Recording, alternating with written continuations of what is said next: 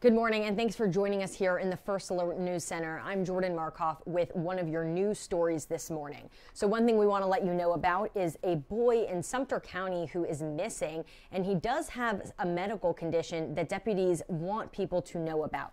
So, Sumter County deputies say nine year old Jude McGregor was last seen around 4.30 p.m. yesterday in the Oaklawn Mobile Home Park in Cherryvale.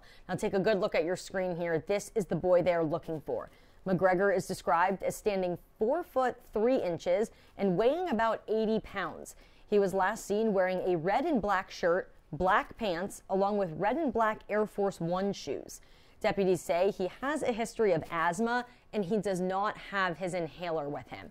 Now, again, Sumter County deputies are actively looking for this young boy. He is nine years old and does have a medical condition. So if you do see him, please report it to police immediately. Call 911.